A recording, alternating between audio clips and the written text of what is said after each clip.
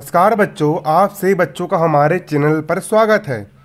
आज के इस वीडियो में मैं आपको कक्षा दसवीं की गणित का अध्याय आठ, चैप्टर एट त्रिकोणमिति का परिचय मैं आपको पढ़ाने वाला हूँ।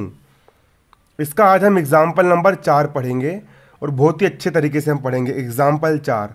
एग्ज़ाम्पल चार, उदाहरण चार यहाँ पर हमें क्या कह रहा है? उदाहरण चार यहाँ पर हमें कह रहा है यदि समकोण त्रिभुज ए बी सी में जिसका कोण बी समकोण है, एक समकोण त्रिभुज दिया गया है, और समकोण त्रिभुज क्या दिया गया है? समकोण त्रिभुज ए बी सी दिया गया है।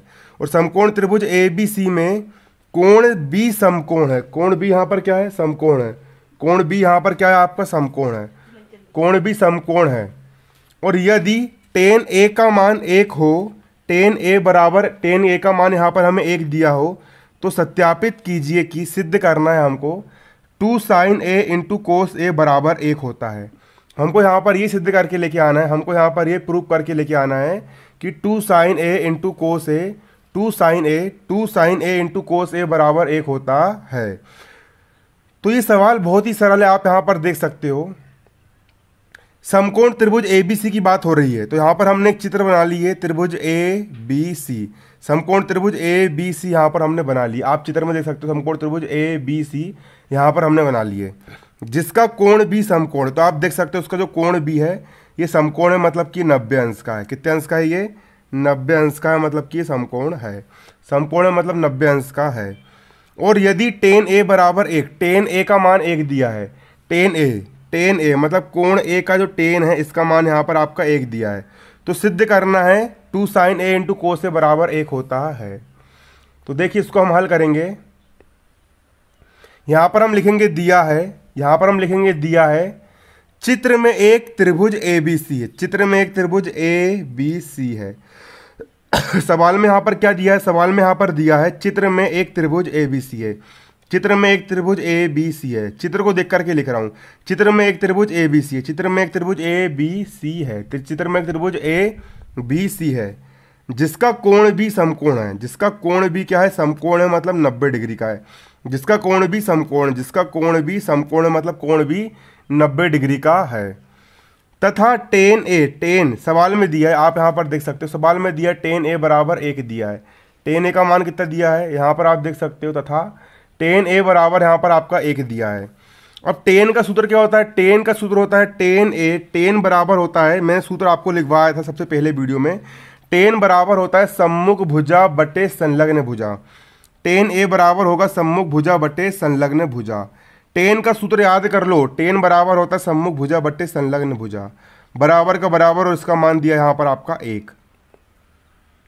अब टेन ए का हो जाएगा आपका टेन ए बराबर का बराबर। सम्मुख भुजा, किसकी भुजा? कोण ए का टेन निकाल रहे हैं। इसका मतलब है कि कोण ए की सम्मुख भुजा। और कोण ए यहाँ पर आपका ये है तो कोण ए की सम्मुख भुजा मतलब कोण ए के मुँह के सामने वाली भुजा। कोण ए की सम्मुख भुजा, कोण ए के सामने की भुजा यहाँ पर आपकी बी सी है। कोण ए की सम्मुख भुजा आपकी बी सी है।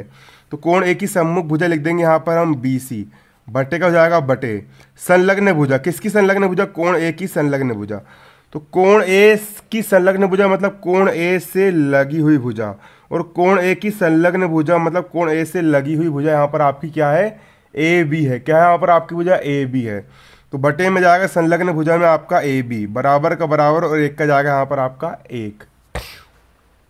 अब इसके बाद आप लोग देख सकते हो बी सी बटे ए बी बराबर यहाँ पर आपका एक दिया गया है।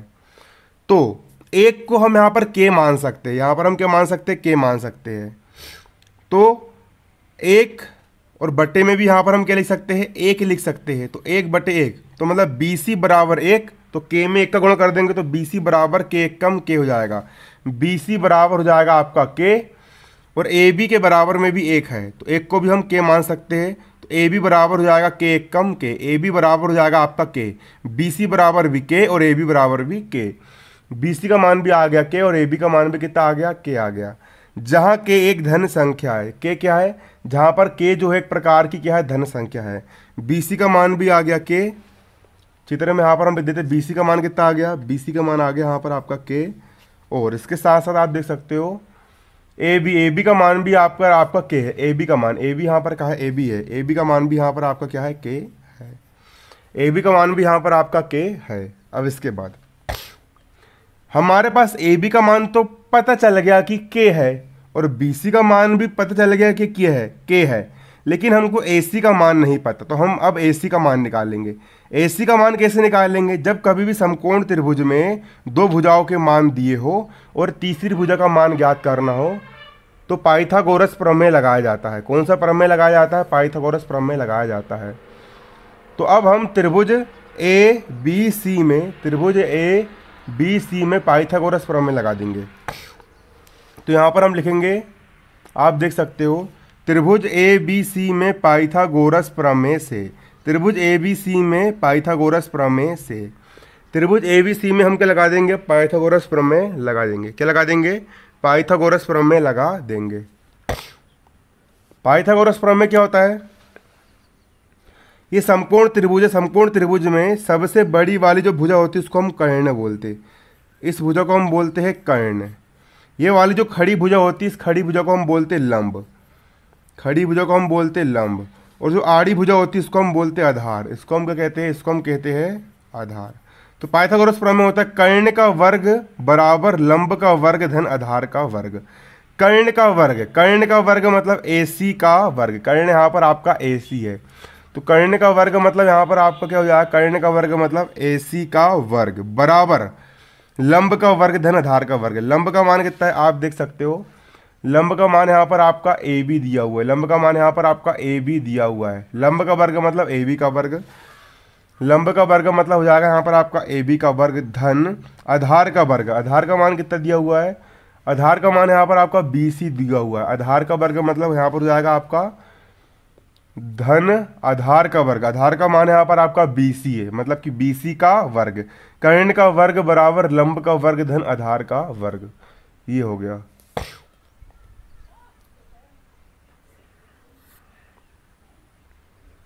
कर्ण का वर्ग बराबर, लंब का वर्ग, धन आधार का वर्ग आपका हो जाएगा। अब AC का मान हमको नहीं पता तो AC की घात दो को जाएगा AC की घात दो बराबर का बराबर। यहाँ पर ए बी ए बी लिखा हुआ है। ए बी का मान कितना है? यहाँ पर आप देख सकते हो, हम नब्बे निकाले। ए बी का मान यहाँ पर हमारा के है। तो ए बी का मान यहाँ पर हम कितना रख देंगे? के रख देंगे। यहाँ पर घात दो तो के की भी घात दो जाएगा। धन का हो गया धन। यहाँ सी लिखा हुआ है और बी सी का मान भी यहाँ पर हमारा के है। तो बी सी का मान भी हम कितना रख देंगे? के रख देंगे। यहाँ पर घात दो तो यहाँ पर भी आपका घात दो हो जाएगा।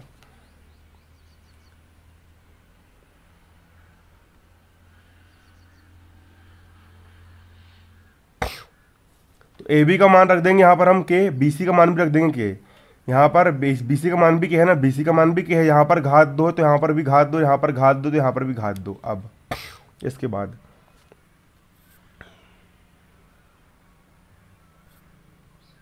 आप देख सकते हो ए सी की घात दो को जाएगा ए सी की घात दो बराबर का बराबर यहाँ पर एक के की घात दो और एक के की घात दो एक लड़का और एक लड़का दो लड़का मतलब कि एक के की घात दो और एक के की घात दो दो के की घात दो हो जाएगा अब ए सी घात दो को जाएगा ए सी की घात दो बराबर का बराबर दो के की घात दो जो लिखा है दो के की घात दो लिख दिया मैंने यहाँ पर मैं करनी लगा दूँगा और इसके ऊपर लगा दूँगा मैं वर्ग, क्योंकि वर्ग से करनी कट जाती है और उतने का उतना ही प्राप्त हो जाएगा। मतलब दो के की घात दो को हम करणी के अंदर दो के की घात दो और उसकी होल घात दो के रूप में लिख सकते हैं। क्योंकि वर्ग से करणी कट जाती है और उतने का उतने बचता है।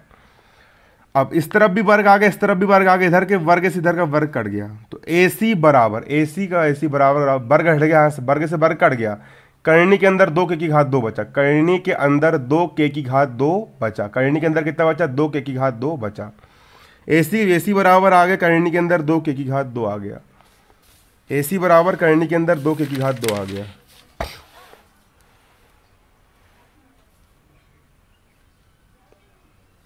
आप लोग यहाँ पर देख सकते हो ए सी बराबर, करणी के अंदर दो के की घात दो आ गया। अब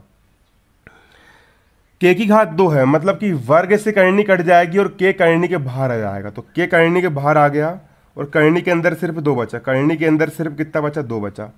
मतलब ए सी का हो गया ए बराबर का बराबर के करणी दो बचा। ए सी बराबर के करनी दो। ये हो गया हमारा ए सी का मान निकल गया। ए सी का मान कितना आ गया? ए का मान आ गया यहाँ पर हमारा के करनी दो। ए का मान कितना आ गया? आप देख सकते हो ए का मान। ए का मान हमारा कितना निकल गया? के करनी दो निकल करके आ गया ए सी का मान, है ना?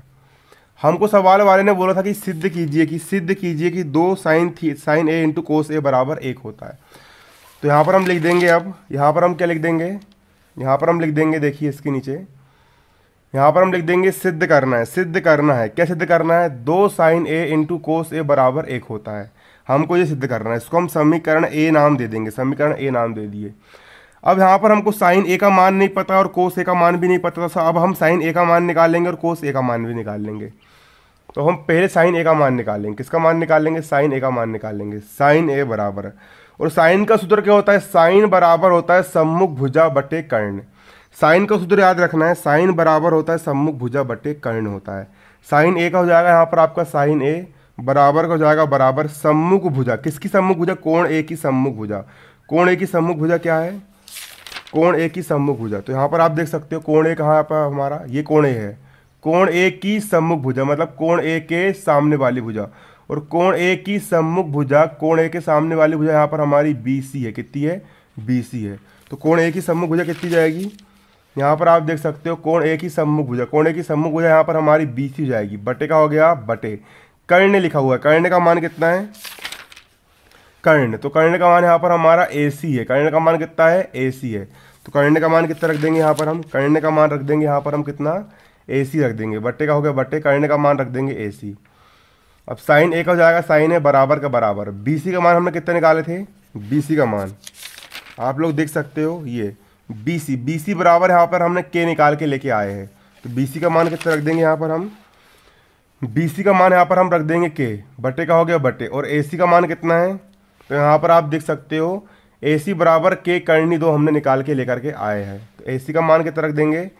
ए सी का मान रख देंगे यहाँ पर हम के करनी दो। ऊपर के के से नीचे का के कट गया। साइन ए का हो गया, साइन ए बराबर का बराबर। ऊपर कुछ नहीं बचा मतलब एक बचा, बटे में करनी दो बच, बचा करनी दो बचा। तो साइन ए बराबर आ गया, एक बटे करनी दो। ये हमारा पहला मान निकल गया, साइन ए बराबर हो गया, एक बटे करनी दो। अब यहाँ पर हमारे सवाल में तो कोस ए भी दिया हुआ है तो अब हम कोस ए का मान भी निकालेंगे। तो यहाँ पर हम लिखेंगे सूत्र में कोस ए बराबर कोस ए बराबर, और कोस ए बराबर क्या होता है? कोस ए बराबर होता है कोस का सूत्र क्या होता है? तो कोस का सूत्र मैंने आप लोग को लिखवाया था। कोस बराबर होता है संलग्न भुजा बटे कर्ण। कोस बराबर क्या होता है? कोस बराबर होता है संलग्न भुजा बटे कर्ण। किसकी संलग्न भुजा? कोण ए की संलग्न भुजा। तो कोण ए की संलग्न भुजा कितनी है? यहाँ पर आप देख सकते हो ये है आपका कोण ए ये कोण है कोण ए की संलग्न भुजा मतलब कोण ए से लगी हुई भुजा। और कोण ए की संलग्न भुजा यहाँ पर आपकी ए बी है। कितनी यहाँ पर आपकी ए बी है? तो कोण ए की संलग्न भुजा का मान कितना रख देंगे यहाँ पर हम? आप लोग देख सकते हो।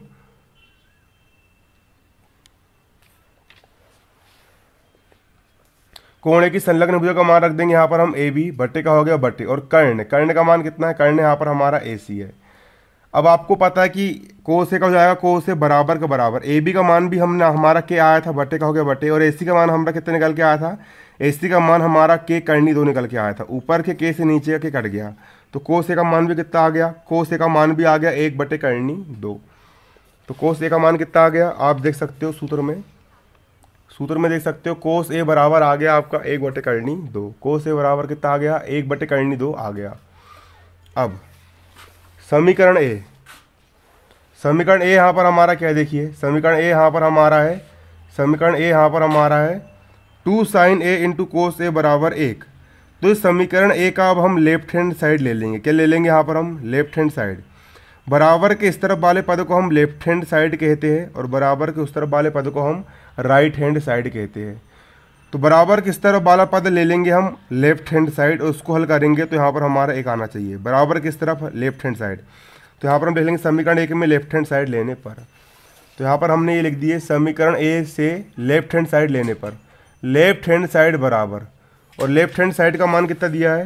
ये देखिए लेफ़्ट हैंड साइड का मान दिया है two sine A into cos A तो यहाँ पर लिखेंगे लेफ़्ट हैंड साइड बराबर।